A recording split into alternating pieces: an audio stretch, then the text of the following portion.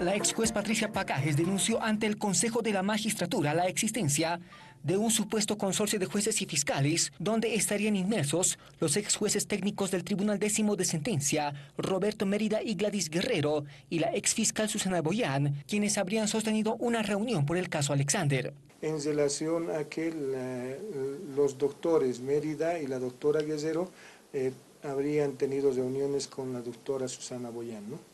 Entonces, en ese entendido, también se va a realizar eh, el control y fiscalización al respecto y en virtud de ello, como se les ha indicado, se va a remitir la denuncia correspondiente. La magistratura investigará este extremo y, de ser real, podría iniciarse un proceso penal como ocurrió con Pacajes. Sea al juez disciplinario o al, Ministerio Público, eh, según eh, emitan el criterio la Oficina de Control y Fiscalización. Recordemos que semanas atrás Guerrero y Mérida fueron destituidos de sus funciones como jueces técnicos después de haberse identificado irregularidades en el fallo contra el médico Jerry Fernández por el caso Alexander. Asimismo, la ex juez Patricia Pacaje se encuentra recluida en el penal de Obrajes por el mismo caso.